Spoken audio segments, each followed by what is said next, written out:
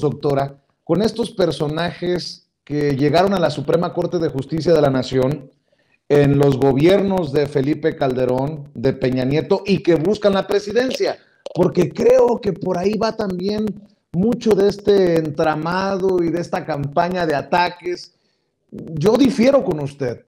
No, claro que es un ataque a la cuarta transformación y claro que es un ataque al presidente por la cercanía del personaje. Es la esposa de un empresario, de un contratista del círculo más eh, cercano al presidente Andrés Manuel López Obrador como Riobo. Bueno, esa es mi opinión, pero ¿qué hacemos con un Alberto Pérez Dayán? Eh, y por eso le digo que qué interesante lo que usted pone sobre la mesa. ¿Quién de todos estos periodistas que están apuntando el dedo a Yasmín Esquivel ha investigado de pies a cabeza, de, de, de, de pe a pa, a este personaje, Alberto Pérez Dayán, que llegó a la Suprema Corte de Justicia de la Nación en 2012, por ejemplo?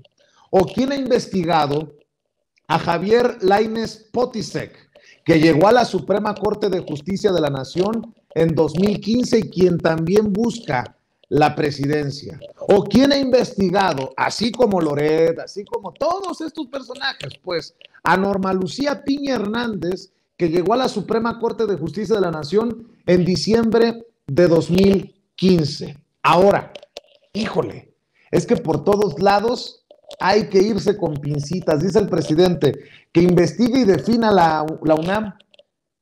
Pues mi preocupación es que la UNAM la hemos señalado por haberse derechizado, por haberse ladeado hacia lo neoliberal. ¿Quién nos dice que se hará un trabajo excelso, pulcro, sin sesgo, para definir eh, eh, un punto de vista o un criterio desde la UNAM que pues tendrá elementos al interior no muy contentos con lo que ha expuesto y ha dicho el presidente Andrés Manuel López Obrador sobre la máxima casa de estudios de nuestro país en las mañaneras. Ahí le dejo una que otra cosita para, para continuar con el diálogo, doctora. Mira, Vicente, yo difiero mucho de esta opinión de que la, eh, Yasmín Esquivel sea cercana al presidente porque su esposo, bueno, no se supone que es una trayectoria impecable, casi como para poder ser presidenta de la Suprema Corte. Bueno, ¿qué tendría que ver el esposo o el exmarido o el ex, o sea, ¿qué importa? O sea, no, no me gusta que se use ese argumento, primero porque la descalifica ella como persona, pero sobre todo como profesional. Si ese es su sello de, digamos, de presentación y sobre todo frente a un proyecto político, pues la verdad, para mí es, no es sostenible, una. Pero la otra que también te diría es que eh, eh, ella no tiene que estar a favor o en contra de la 4T. Pues si son jueces, o sea, el problema es que se decanten y que estén de un lado o del otro. Obviamente sabemos bien que hay conservadores, que hay más progresistas, y en ese umbral hay muchísima gente en este país, por supuesto, eh, y, con características, digamos, potables para estar en estos ámbitos, pero bueno, digo, allá ellos, ¿no? Pero el punto es, no tiene que estar a favor de la 4T. Lo que tendría en todo caso es que estar y tener una capacidad de mesura y de observación justamente justa, justamente leyendo las necesidades y la problemática, o sea, no la ley en el sentido de esta cosa que a mí me molesta tanto, que es, es que la letra dice, ok, la letra dice, pero se interpreta en su sentido público, social, de beneficio amplio. Y en esto lo que pasa es justamente que hay toda una discusión al interior del propio gremio de, legaloides, ¿eh? Y entonces ahí es más bien qué posición tienen los ministros, las ministras, los que sean, ¿no? frente al, la, vida, frente a los problemas sociales, frente al país del cual son representantes desde lo jurídico, desde lo judicial, desde este ámbito tan importante como es la Suprema Corte. Ese es el problema. Y que realmente, aún contra su propia, digamos, deseo eh, personal, pudieran entender cuando hay una necesidad pública de avanzar con temas que son propios de lo social. Si se impone el criterio personal, religioso, moralino de cada uno, no, bueno, pues de jueces no tienen ni un pelo y que se vayan todos. Y yo te diría, para mí que se fueran todos, ¿eh? O sea, eso es lo que yo quiero dejar como muy claro, que su punto no es porque esté a favor o en contra, es porque se podría entender digo, en, un escenario que es una persona sensata, que es capaz de revisar los, las problemáticas que se les lleguen a presentar a la Suprema Corte y en su momento decantarse de una manera, digamos, desde el derecho más progresista y más apegado a lo que se supone que es la norma. Fíjate, con los cambios que hubo en la Constitución en el 2014, se supone que se abrió una perspectiva en términos de derechos humanos. De ahí se deberían de decantar todos los, todos los jueces, no solamente en la Suprema Corte, tendría que ser lo primordial. Entonces, primero es la primera cosa que te diría. Y ahí te diría de los otros, de los otros candidatos. Yo creo que ahí toca hacer el trabajo nosotros, Vicente. Y otra vez, aprovechar la, el, el poner a la mesa una necesidad de revisar las trayectorias de estas personas y la de todos, ¿eh? Órale, la de todos. Eh, que, que, por ejemplo, órale, a revisar las tesis de estas personas y las trayectorias y sus vínculos familiares, porque sabemos muy bien, por cierto, un trabajo espléndido que se hizo en el CIDE sobre todas las redes familiares en este crepúsculo al interior de la Suprema Corte. Todas las cuestiones a partir de las cuales se han construido también redes de, complicidad y de amiguismo. Entonces, esto que es, que es público, pero de repente sale más, sale menos, hay que traerlo a la mesa. Y efectivamente, tienes razón, hay algunos de los que son impresentables que llegaron en tiempos, cuando dices 2012, caray, ya van 10 años que esta gente está en esos cargos y el correlato que yo te digo es, en un país de impunidad, ¿Con qué cara esa gente se levanta todos los días? Y deja tú eso, ganan sus 350 mil pesos al mes. O sea, es increíble, Vicente. Yo no sé qué tanto siga eso, pero ojalá salga a la luz la cantidad de beneficios indebidos que tienen desde la Suprema Corte y que tendrían que estar denunciando, incluidos los que han estado también en, esa, en ese ámbito. Eso. Claro. Y la última cosa de lo, que, de lo que me dices que es lo de la UNAM. Digo, me puedo seguir con cada cosa, ¿eh? pero bueno, lo de la UNAM.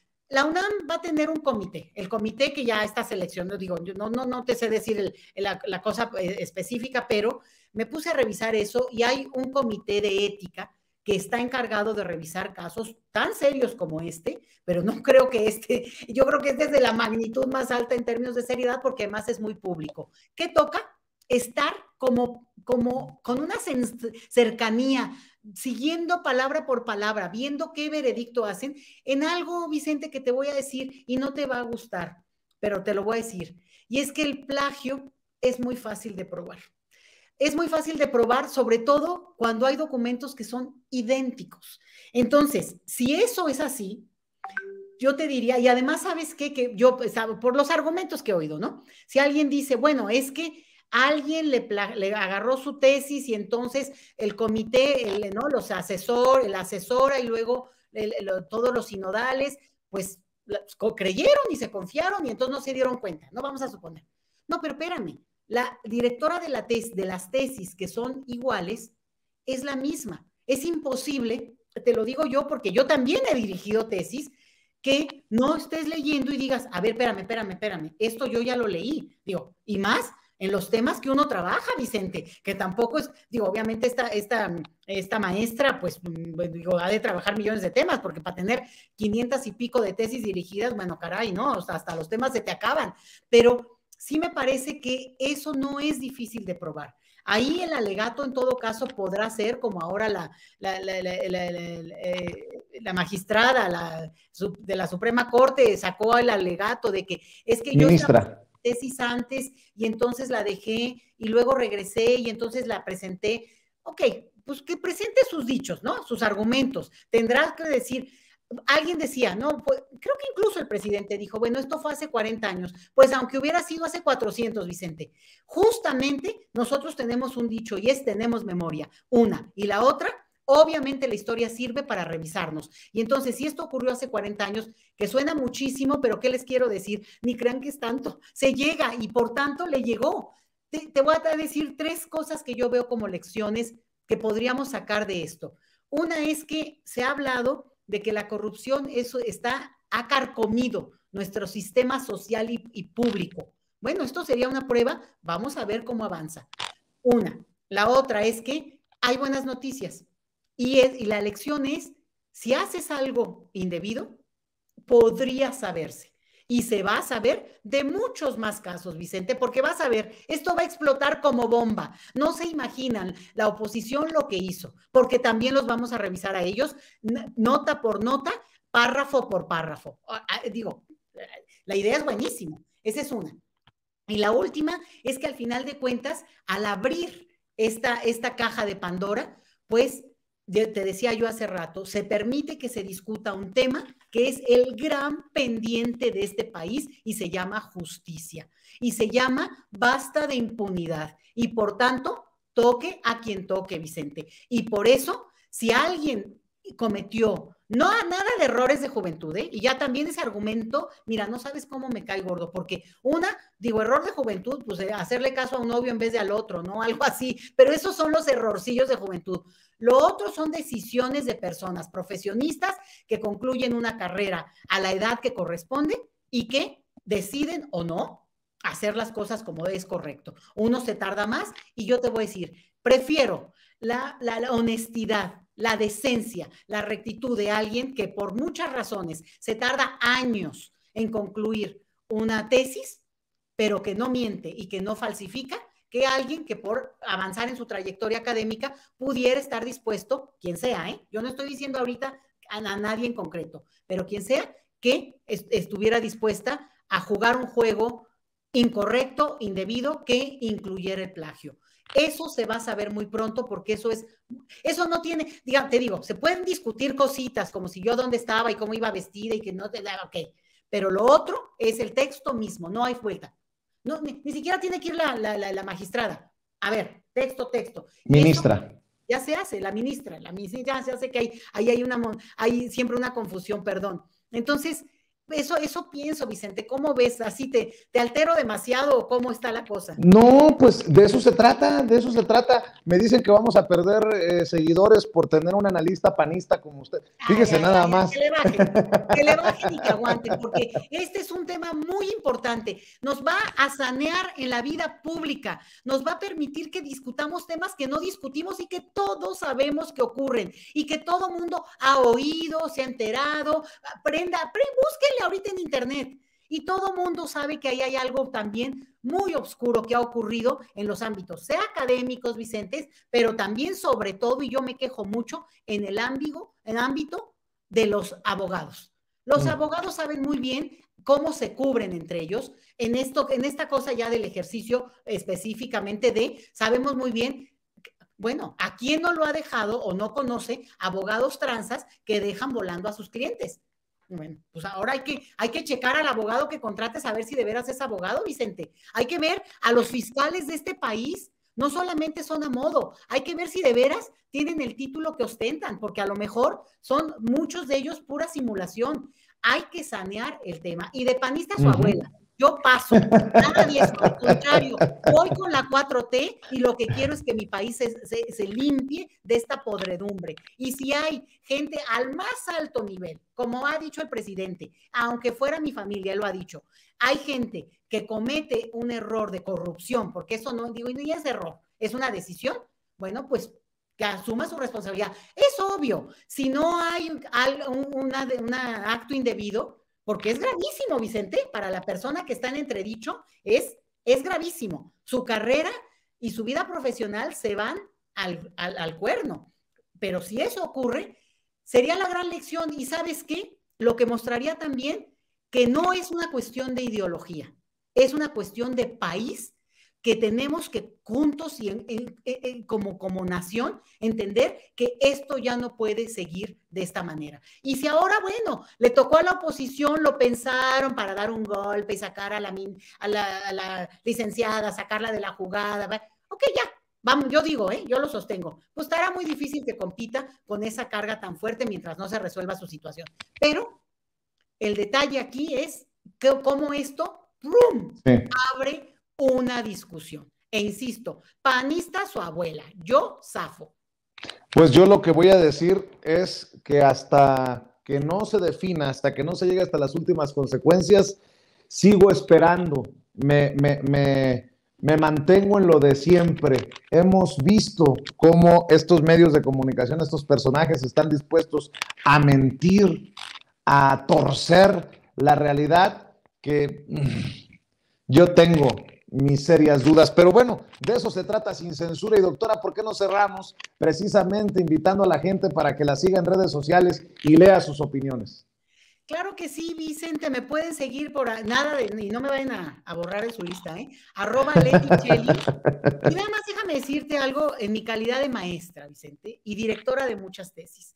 Yo sé y me consta que quien hace una tesis, y yo misma lo he hecho, sufre, porque hay un momento de mucha angustia, de tensión, de, inseguridad personal, y quien dirige una tesis no nada más revisa, acompaña, a veces hasta contiene emocionalmente, ¿sabes? ¿Por qué? Pues porque necesitas ese, ese cómplice que te está dando, eh, ¿no? Un intercambio. Esa es una, pero la otra, quien hace esa tesis, es un esfuerzo enorme y por eso celebrar el día que alguien se recibe es un día de fiesta, porque cubrió todos los trámites. Por eso, si alguien no lo hace así, pues creo que es este, que también sabe muy bien a lo que me refiero. Tiene esa carga y debe ser muy, muy duro, muy duro. Pero por lo pronto, mando un abrazo muy grande a todos los que se están recibiendo a finales de año, porque hay gente que conozco que se recibió apenas hace dos semanas, porque querían cerrar el año con esa, esa festejo, ese festejo tan grande en sus propias casas. Así que sí síganme, porque de lo que se trata es de que sin censura abramos el debate y también estemos, digamos, contraponiendo puntos de vista, porque si no, Vicente, eh, creo que eh, nos autoalimentamos solamente de un mismo discurso, que compartimos mucho tú y yo en lo esencial, por supuesto que sí, pero en este caso es mucho mi ámbito y también desprestigia a quienes hemos hecho trayectorias académicas poniendo todo, el cuerpo, la sangre, la vida, y al final de cuentas que venga gente que te sale con que tiene tres doctorados, ¿a qué hora, manito? Mira, ¿sabes qué? Ya, basta de que nos vengan a farolear con eso. Así es, doctora, pues me da mucho gusto discrepar con ustedes sin censura, con como debe de ser y sin intención del golpeteo que desafortunadamente queda exhibido en muchos eh, medios tradicionales. Y digo que desafortunadamente porque solo confunden a la gente. Aquí nos vemos para seguir hablando sin pelos en la lengua, sin censura, doctora, y ahí estamos al pendiente. Listo. Gracias. Un abrazote, Vicente, y feliz, bueno, feliz Navidad todavía. El año nuevo todavía nos esperamos. Claro que sí, feliz Navidad y vamos rumbo al 2023 productivo.